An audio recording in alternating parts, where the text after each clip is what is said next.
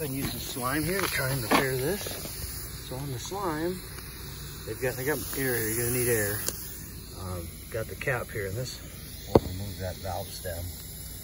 So that tool right there, pop that down in there and unscrew the valve stem. You'll feel it kind of kind of lock in there. Don't lose this thing. And that'll thread all the way out. See, there we go. Okay, now we're gonna add the slime. So what we wanna do there, pull this tube out, put it on here, and then the other half's gonna, the other part's gonna go over the, the valve stem there. I just slid that on there all the way till it's tight.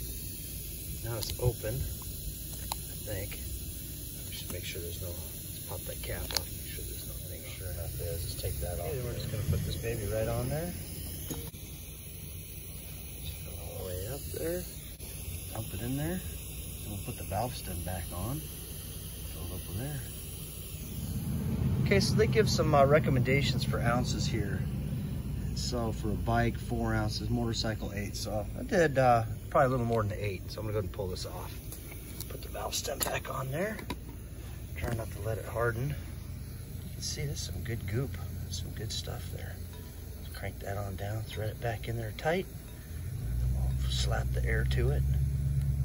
There we go.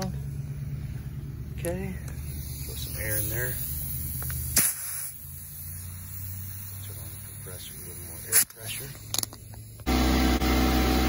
Okay, now if you want to reuse this, make sure you cap it and clean out the hose